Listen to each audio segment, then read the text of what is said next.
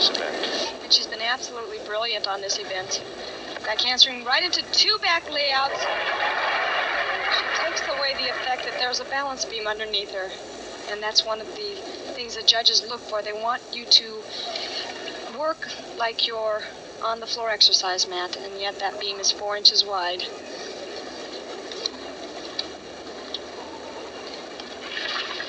Aggressive worker, right into a back layout, and she makes it more difficult by landing on with her feet together. There's not much room on that beam. I see, you have have narrow feet to do that, don't you? Yes, she taps her toe, comes back, showing her flexibility. There's an interesting move.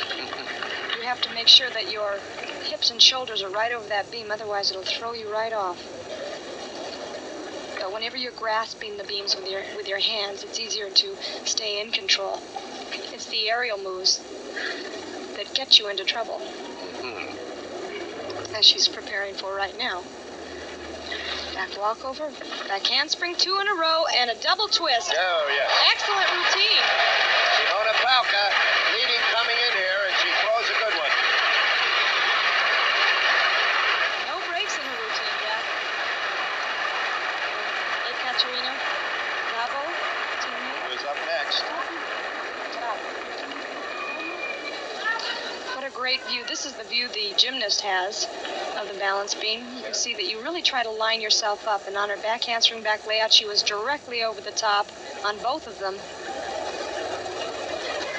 In fact, when you're standing right over like that, you can't even see your legs.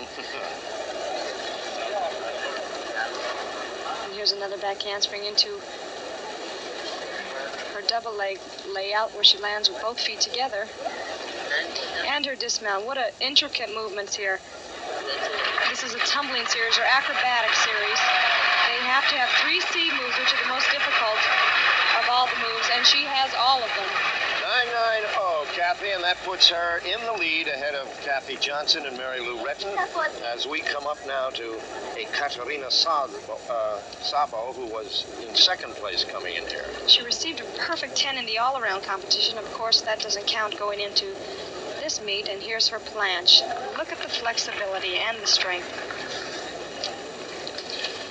995 to tie for the gold medal 10 to take it. The Romanians have been so mentally strong on this event. They are aggressive. They go out there and they do the job. They may fall, but they never hesitate. Four back handsprings in a row.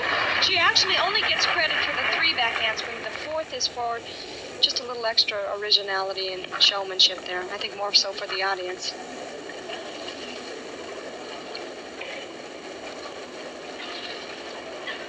In this competition, as we said in the beginning, it's important to go all out and not to hold back or be un- under too much control. Back handspring, back layout, no bobbles, no hesitations. Sort of a Valdez there. And her split. She moves quickly. It seems the high scores on this event come from the quick paced routine that we've seen so far. Look at this side scale. Talk about control.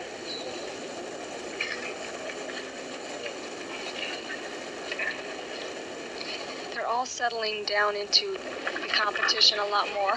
Round off double back. They look very confident up on the beam. Katin Szabo, Romania. Another brilliant performance. Everybody's been quite impressed, not only with their talent, but their manner and their the way they conduct themselves. And the Romanians have done themselves a lot of good here. And you should see them in the gym. They're just, they smile, they talk to everybody. There's her four back handsprings. And you can see the line up there. Now, it's important not to hesitate before any movement, but they do take a little breath as long as it's not too long before they go into the moves. This back handspring into a layout, once again, was straight on. It's a 995.